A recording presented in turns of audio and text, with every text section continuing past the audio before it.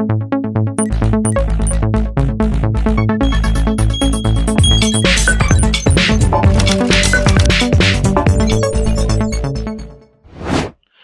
عليكم ورحمة الله وبركاته. الصوت مسموع؟ لو سمحت اللي سامع الصوت يكتب رقم واحد. تمام. تمام. تمام. السلام عليكم ورحمة الله وبركاته. أهلا وسهلا بجميع السادة الحضور.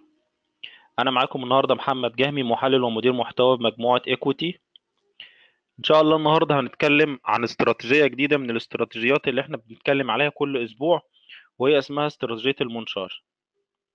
هو الاسم شوية ليه علاقة بإن فكرة الاستراتيجية أنت بتقدر تكسب في جميع اتجاهات السوق سواء كان صاعد أو هابط تقدر تستفيد من أي حركة للسوق.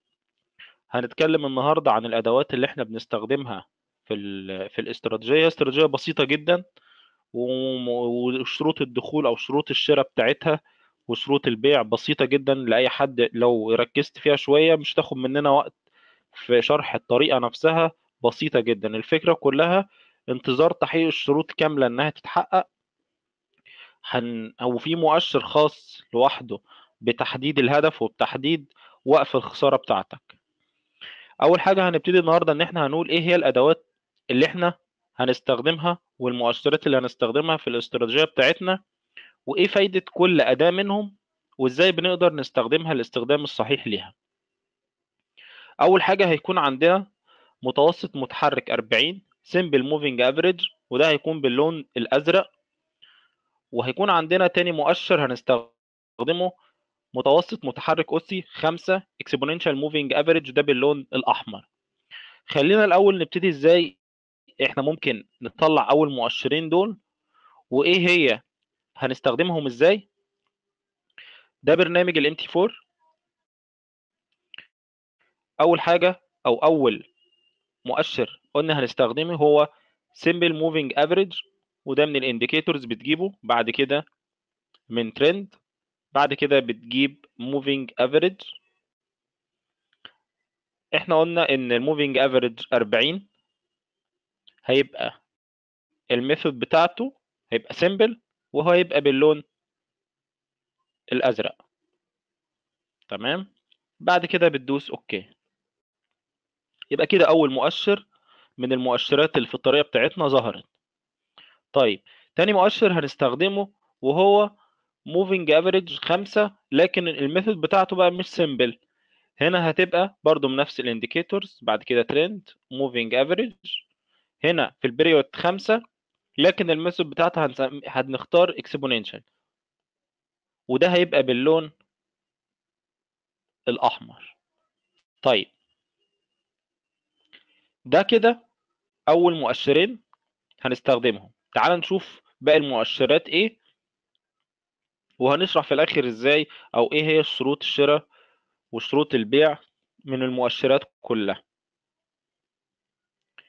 تاني مؤشر هنستخدمه اللي هو مؤشر اسمه ADX المؤشر ده إحنا شرحنا له محاضرة لوحده وقلنا قد إيه إن المؤشر ده مهم ومفيد كأن إن أنت ممكن تستخدمه كاستراتيجية منفردة لوحده وإن أنت ممكن تستخدمه كأداة مساعدة ليك في أي طريقة تانية أو أي استراتيجية أنت بتستخدمها.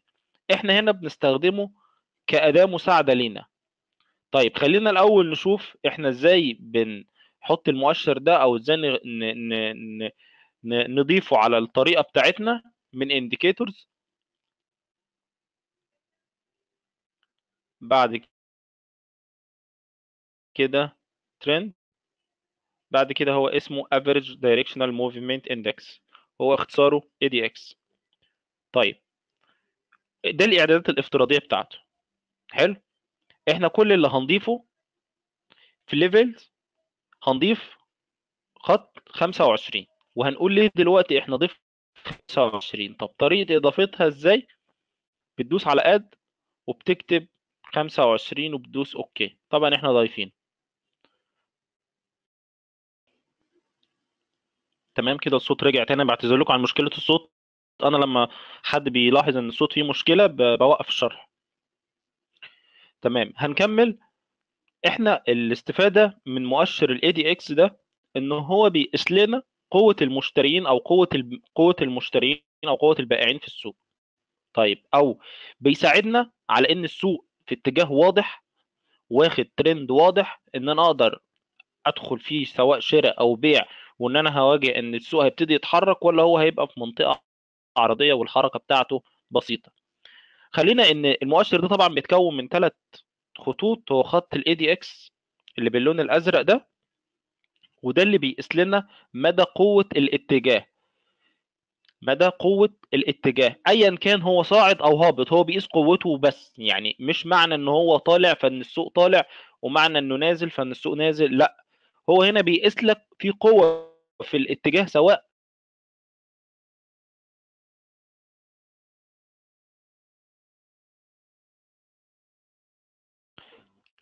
تمام. أنا آسف بعتذر لكم عن مشكلة تقطيع الصوت دي. خلينا هنكمل شرح.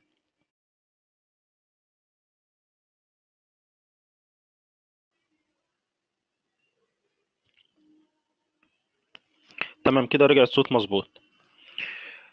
خلينا هنتكلم دلوقتي على مؤشر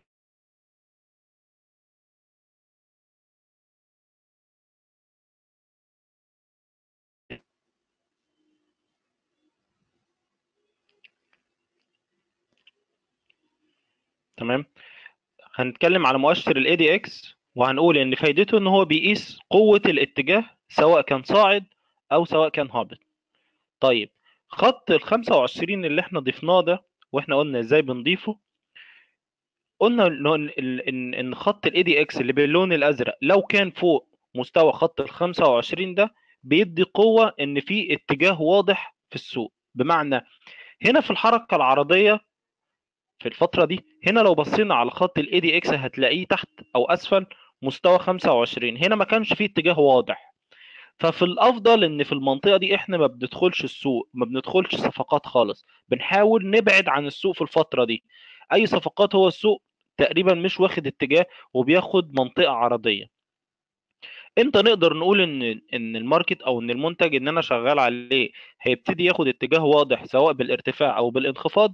لما الإشارة بتأكد لي بأن خط ال ADX بيبقى أعلى من مستوى 25 فده بيأكد لي إن السوق ده فيه سيولة فيه حركة هيبقى فيه ارتفاع أو انخفاض. طيب آخر حاجة هنتكلم عليها أو آخر مؤشر هنضيفه على الاستراتيجية وده اللي بيحدد لنا الهدف بتاعي وبيحدد لنا وقف الخسارة لكل صفقة أنا بدخلها وهو مؤشر ال ATR ومؤشر ال ATR الإعدادات الافتراضية بتاعته بتبقى 14 لكن إحنا هنعدل عليه وهنخليه بالإعداد يبقى هيبقى 20 المدة بتاعته. طبعا خليني أؤكد لكم إن إحنا بنتكلم إن الاستراتيجية دي على الإطار الزمني الساعة. دلوقتي إحنا بنتكلم إن المثال اللي قدامنا ده يورو دولار في على الإطار الزمني الساعة. خلينا هنضيف آخر مؤشر معانا النهارده في الاستراتيجية وهو ال ATR وده هتلاقيه في custom تحت هتلاقي ATR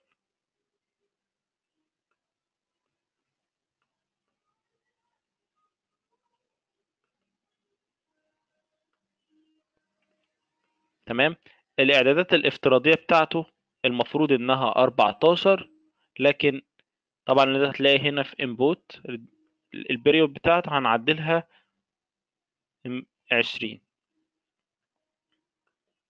وبعد كده هندوس okay. طيب تعالى بقى نتكلم خطوة خطوة. هنتكلم خطوة خطوة على إزاي بستخدم المؤشرات دي مع بعضها وأي الطريقة الصحيحة لاستخدامهم وإزاي أدمجهم مع بعض بحيث إن أنا أقدر أحدد فرص الشراء وفرص البيع. أول حاجة في الطريقة النهاردة هنتكلم عليها وهو تقاطع مؤشر خمسة اللي باللون الأحمر أو المتوسط المتحرك خمسة اللي باللون الأحمر مع المتوسط المتحرك أربعين اللي هو باللون الأزرق simple moving average. طيب خلينا نتكلم على حاجة تانية. مبدئيا علشان نأكد الفرصة إن دي فرصة شراء أول حاجة إن يكون الخط بتاع moving average 40 يا في حالة عرضية يعني في مستوى عرضي يا إما واخد الاتجاه الصاعد. بمعنى هنا لو بصينا هنعمل زوم اوت شوية على ال على على الصورة. تعالى كده نركز في الخط الأزرق ده. هو بيبقى في ثلاث حالات. يا واخد اتجاه صاعد أو زاوية ال... واخد زاوية ارتفاع. يا إما هو واخد زاوية مسطحة بالمنظر ده يعني بشكل عرضي. يا إما واخد بزاوية زاوية هبوط أو واخد اتجاه الهابط. طيب مبدئيا علشان أقول إن في فرصة شراء أو هيبقى في فرصة دخول لازم إن يكون المؤشر ده باللون الأزرق يا واخد في الاتجاه الصاعد يا إما هيكون واخد الاتجاه المسطح أو الاتجاه العرضي. طيب خلينا نتكلم على حاجة تانية. وهي مؤشر ال moving average اللي باللون الأحمر. لازم علشان أقول أو دي بداية اشاره الدخول أو إن دي فرصه شراء إن يبقى فيه تقاطع للمؤشرين تقاطع الخط الأحمر مع تقاطع الخط الأزرق لأعلى. خلينا هنشوف مثال هنا موضح. خلينا هنا هنركز. هنا كان في تقاطع لل moving average الأحمر قطع الخط الأزرق لأعلى. طب دي بداية فرصه شراء طيب في إيه التأكيد بقى؟ التأكيدات اللي بتخليني أقول لا أنا فعلا أدخل الفرصة دي ولا لا؟ التأكيد اللي أنا باخده إن أنا ممكن أدخل الفرصة دي أو لا بيكون أول حاجة أو أول إشارة بيبقى فيه تقاطع بشمعة زي دي تاني حاجة بيبقى فيه تأكيد بشمعة تانية. بمجرد إغلاق شمعة تانية أو في شمعة تانية تم إغلاقها أعلى أعلى التقاطع وبيأكد إن أنا إن لازم يكون إن الشمعة الأخيرة اللي ظهر دي تكون أعلى من خمس شمعات فاتت بحيث إن أنا أأكد إن دي حركة صعود فعليا مش حركة عرضية ومجرد إن الخط تقاطع بس ما كانش فيه أي حركة. خلينا أشرح لكم أكتر على برنامج الام تي 4 الجزء ده عشان دي نقطة مهمة في التقاطعات هنا. شوف هنا خلينا نتكلم في الفرصة دي. هنا فعلا الخط الأحمر قطع الخط الأزرق لأعلى. طب دي بداية فرصة شراء. تاني حاجة كان في إغلاق للشمعة الأولى أعلى التقاطع. تاني تأكيد إن كان في إغلاق لتاني شمعة أعلى التقاطع ودي بتأكد لنا الدخول شراء. من هنا تقريبا الدخول من واحد فاصلة عشرين واحد وتلاتين. طيب تأكيد تاني إن أنا لازم أتأكد إن في صعود فعلا أو في حركة شموع في الشمعة ابتدت تاخد حركة فعلية أعلى من الشموع اللي فاتت. دي كلها تأكيدات إن في حركة فعلية في السوق. تاني حاجة تاني حاجة ببص على مؤشر ال ADX أو خط ال ADX اللي باللون الأزرق ده وهو ده اللي يهمني من المؤشر كله لأن المؤشر ده ليه شرح مفسر بتفسير أكتر خصوصا بالخط ال DI plus و DI minus بأنه الأخضر والأحمر دول ليهم تقاطعات وإزاي أنا بحددها ده ليه استراتيجيه لوحده. بس أنا النهارده بس هستخدم الخط اللي باللون الأزرق وبضيف مستوى 25 وده بس باخد منه تأكيد على إن في فعلا اتجاه في السوق. طيب تاني حاجة أو تاني تأكيد على إن الفرصة دي صحيحة أو إن أنا أدخل فعلا الفرصة دي إن أنا لازم أتأكد إن مستوى الخط ال ADX اللي باللون الأزرق يبقى أعلى من مستوى 25 ليه أعلى؟ أعلى ده بيأكد لنا إن في بداية حركة في السوق أو إن في سيولة داخلة السوق في قوة في قوة في الحركة في اتجاه واضح هيبتدي يظهر في السوق أو اتجاه واضح ابتدى فعلا في السوق. فده تاني تأكيد إن أنا لازم يكون في مؤشر ال ADX أعلى من مستوى 25 خلي بالك إحنا هنا لو بصينا في اللي فاتت هنا آه كان في تقاطع الخط الأحمر مع الخط الأزرق وآه فعلا كان في تأكيد بشمعة تانية بس هنا تعالى لو بصيت على الخط ال ADX اللي باللون الأزرق هتلاقي تحت مستوى ال 25 وطالما تحت المستوى ده يبقى هنا بيقول لك خلي بالك إن الاتجاه لسه مش واضح. أو إن الفرصة دي ممكن ما تكونش كاملة. أو حاول ما تدخلش السوق لأن ما فيش اتجاه قوي في السوق وده فعلا اللي حصل. لو جيت بصيت هتلاقي فعلا ابتدى يرجع تاني يدخل في مرحلة عرضية. هنا لما قطع مستوى ال 25 وفعلا طلع فوق المستوى ده كان فعلا في اتجاه واضح في السوق وده اللي حصل زي ما إحنا شايفين. طيب خلينا نتكلم بقى إحنا دلوقتي عرفنا إزاي ندخل. تأكيدات الدخول اتفقنا عليها. أول حاجة الخط الأحمر moving average الأحمر هيقطع اللي بالأزرق. تاني تأكيد إن في شمعتين إغلاق بعد التقاطع. لازم أتأكد إن ال ال الإغلاق ده أو إن الشموع دي كان فيها حركة وأعلى من الشموع اللي فاتت مش مجرد دخلت منطقة عرضية وبس لأن أنت ممكن تلاقي تقاطع بعد منطقة عرضية زي كده فده ما يعتبرش تقاطع حقيقي. لازم فعلا يبقى فيه مرحلة صعود أو إن الشمعة نفسها تبقى كبيرة عن الشموع اللي قبلها أو بت يعني إغلاقها أعلى من ظلال الشموع اللي فاتت كلها. تاني حاجة أو التأكيد الثالث إن أنا لازم أتأكد إن مؤشر ال ADX إن يبقى أعلى من مستوى 25 طيب أنا خلاص دي التأكيدات. تمام؟ رجع كده الصوت تمام. هنكمل. مؤشر ال ATR هو ده بقى اللي بيحدد لنا أنا إزاي هحدد نقطة الربح بتاعتي وإزاي هحدد وقف الخسارة. إحنا كده قلنا الشراء الشراء شروطه إيه؟ واتحققت كل شروط الشراء. طب دخلت الصفقة. حلو. برجع ابص على مؤشر ال ATR وده مؤشر بيقيس مدى أو متوسط حركة السعر لفترة معينة وإحنا قلنا إن إحنا عدلنا إن المدخلات بتاعته هيكون على المدة 20 مش 14 لأن الإعدادات الافتراضية بتاعته 14 هنا لو جيت بصيت لحظة ما أنا دخلت الصفقة هنا بسعر الافتتاح واللي هي زي ما قلنا تقريبا هيبقى من سعر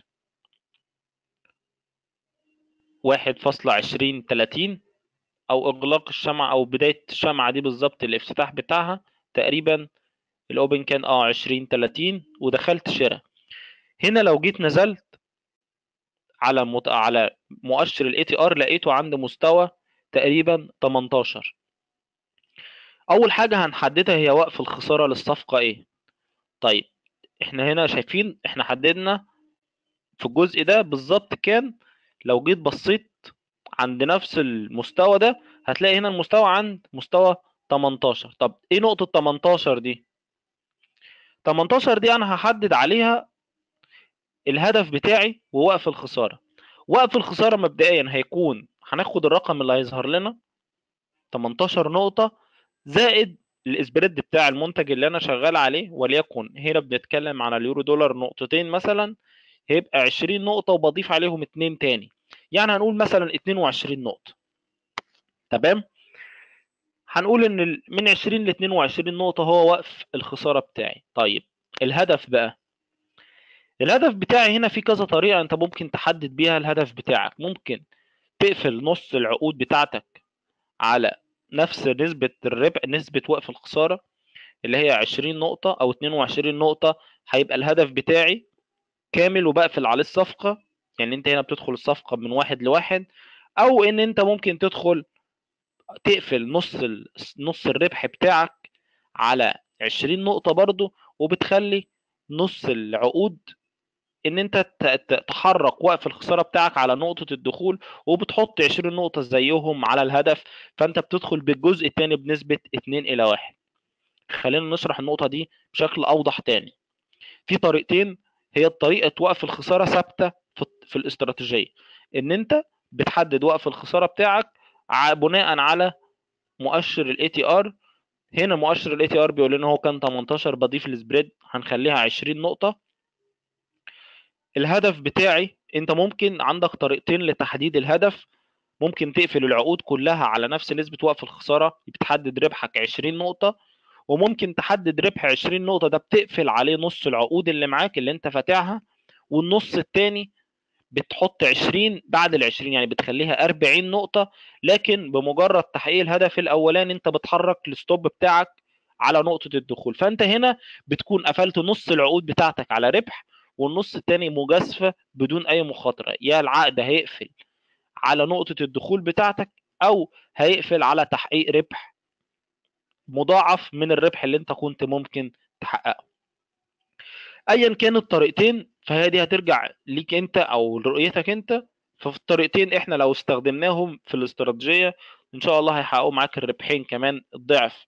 زي ما قلنا إن ممكن يقفل على طريقتنا أو على الصفقة اللي إحنا دخلنا فيها هنا دخلنا من المستوى 20 30 فالربح المفروض وقف الخسارة كان هيبقى 20 نقطة. طبعا هو ما وصلش لوقف الخسارة بتاعي ولكن طلع وحدد حقق الربح في أول صفقة. لو سبت على نقطة الدخول برضو وحركت الجزء الثاني منها فهو برضو حقق الهدف بتاعه ال 40 نقطة. فأنت هنا في الصفقة دي تقريبا هتكون كسبان اجمالا تقريبا 30 نقطة للعقدين مع بعض 40 بالنص و20 بالنص. طيب تعال نشوف فرصة تانية ونشرح الشروط تاني. دي فرصة شراء تانية. هنتكلم على أول حاجة تقاطع الخط الأحمر مع الخط الأزرق. تاني تأكيد كان بمؤشر ال ADX كان فوق مستوى 25 كده دي كانت فرصة شراء واضحة. خلاص دخلت شراء. خلينا نشوفها على ال MT4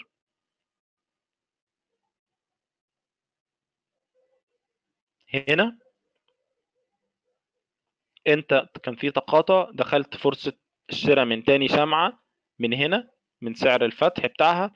كان تقريبا واحد فاصلة سبعتاشر ستة وتمانين. تقريبا دخلت من هنا. التأكيدات كلها موجودة تقاطع شمعتين أعلى من الشموع اللي فاتوا كان المؤشر ال ADX أعلى من مستوى خمسة وعشرين. تعال نبص على مؤشر ال ATR كان هنا عند مستوى كام؟ مؤشر ال ATR كان عند مستوى تقريبا تقريبا 13 فهنا هيبقى وقف الخسارة بتاعنا 15 نقطة والربح بتاعنا هيبقى النص على 15 أو ممكن تقفل الكل على ربح 15 نقطة أو ممكن تحدد الربح الجزء العقد التاني يبقى هيكون 30 نقطة. هنا لو هنتكلم على 15 فهو حققها كهدف أول وحقق كمان الهدف الثاني يعني لو قسمت العقود بتاعتك في الحالتين كان هيحدد أو هيحقق لك الربح بتاعك. طيب إحنا دلوقتي اتكلمنا على فرص الشراء وإزاي بحققها أو إزاي إيه الشروط بتاعتها. هنتكلم على فرص البيع. هي هي الشروط بس كلها هتكون معكوسة. بمعنى أول حاجة أنا لازم أتأكد إن مؤشر اللي باللون الأزرق أو ال moving average اللي باللون الأزرق هو يا هيكون واخد اتجاه هابط يا اتجاه عرضي. ما ينفعش يكون واخد اتجاه صاعد. ومجرد الشموع قطعته إن أنا أدخل عكسه فده غلط.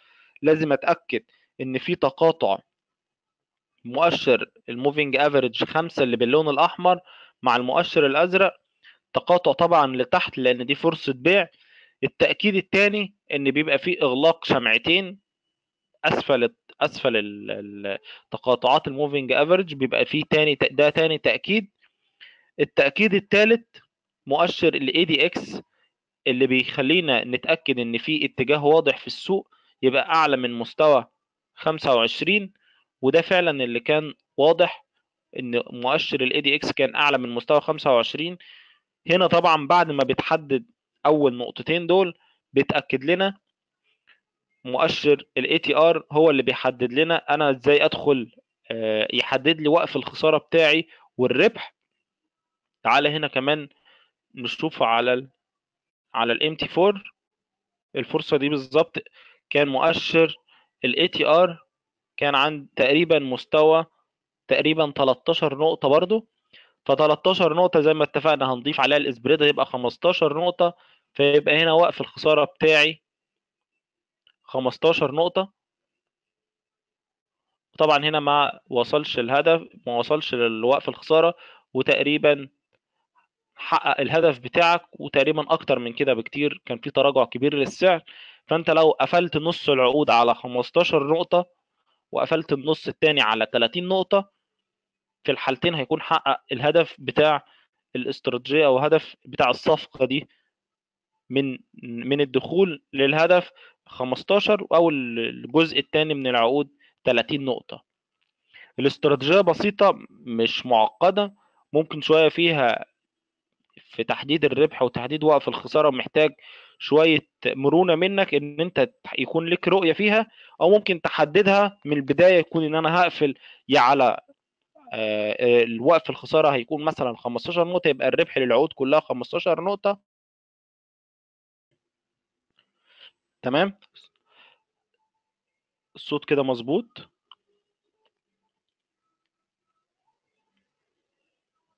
تمام. كده زي ما اتفقنا وقلنا إن أنت ممكن تحدد وقف الخسارة بتاعك على آه، مؤشر ال ATR وممكن تحدد الربح بتاعك بنفس المستوى واحد نسبة واحد إلى واحد يعني نفس نسبة وقف الخسارة هتبقى هي هي نفس نسبة الربح بتاعتك. ممكن تقفل عليها العقود اللي أنت دخلت كلها يعني لو أنت فاتح lot واحد lot مثلا standard ممكن تقفل الصفقة كلها على الربح. ممكن تقفل نص العقد بس وتخلي النص التاني وقف الخسارة على الدخول. وتخلي الربح مضاعف عن الربح اللي انت قفلت عليه. لو في أي حد عنده أي سؤال أو توضيح بخصوص اللي أنا الطريقة أو في أي حاجة مش واضحة يتفضل يسأل أي سؤال عليها وأنا إن شاء الله هحاول آه، أعيد له جزئية الشرح. لو في أي حاجة مش مفهومة. الصوت مسموع؟ في حد عنده أي سؤال أو أي توضيح بخصوص اللي أنا شرحته أو بخصوص الطريقة أو في أي حاجة مش واضحة بالنسبة له أو أي مؤشر مش واضح استخدامه استخدامه الصحيح إزاي؟ موضوع ال- ال- التوقيت الدخول هي بتبقى للأسف مواعيد المحاضرات بتبقى ثابتة الساعة ستة فهنحاول نتلاشى موضوع إن الصلاة الموضوع صلاة المغرب فهنحاول نعدل المواعيد إن شاء الله بعد كده. تمام. الأستاذ محمد بيقول إزاي أقدر اميز الاتجاه العرضي بحيث إن أنا ما أدخلش فيه؟ زي ما قلنا اللي بيحدد لك إن في اتجاه عرضي أو اتجاه واضح هو مؤشر ال ADX اللي باللون الأزرق ده. أنت لازم عشان تت... أو تتلاشى الدخول في فترة عرضية أو تتلاشى الدخول في اتجاه مش واضح إن أنت لازم تتأكد إن مؤشر ال ADX أعلى من مستوى 25 لو اتاكدت إنه أعلى من مستوى 25 تأكد إن أنت مش في اتجاه عرضي تاكد إن في اتجاه واضح في ال market سواء هيكون بارتفاع أو بانخفاض.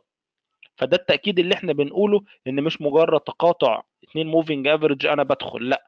أنا بس بنتظر التأكيد بناء على مؤشر ال ADX اللي بيقول لي لأ ده في اتجاه واضح. هنا كان هتلاقي في تقاطعات كتيرة بتحصل إحنا ما بندخلش عليها لأن بيكون المؤشر نفسه يعني تعالى هنا مثلا في الجزئية دي.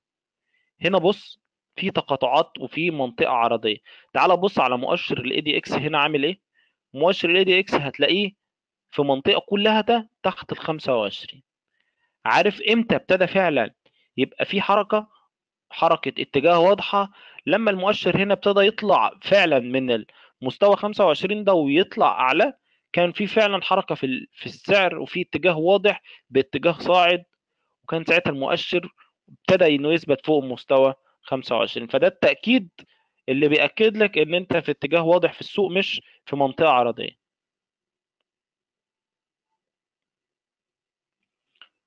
أنا بتكلم على الخط الأزرق بس لمؤشر ال ADX ما اتكلمتش على الخطوط الأخضر أو الأحمر. خالص أنا بستفيد من المؤشر ده أنا عايز منه التأكيد إن في اتجاه ولا لأ مش بدخل على اعداداته إعداد المتوسطات المتحركة الأحمر ده هيكون exponential moving average الإعدادات بتاعته الطريقة أو ال method بتاعته exponential وبخمسة واللي باللون الأحمر. اللي باللون الأزرق بيبقى moving average أو simple moving average متوسط متحرك بسيط هيبقى 40 والخمسة بيبقى متوسط متحرك أسي. ده الاثنين متوسطات متحركة. والمحاضرة هتبقى موجودة على قناتنا على اليوتيوب هتبقى متسجلة للي حابب يرجع تاني للشرح من بدايته. كل المحاضرات اللي فاتت تقدر تدخل على قناتنا على اليوتيوب على قناة Equiti ME هتلاقيها موجودة كلها. تمام؟ أي حد عنده أي سؤال تاني؟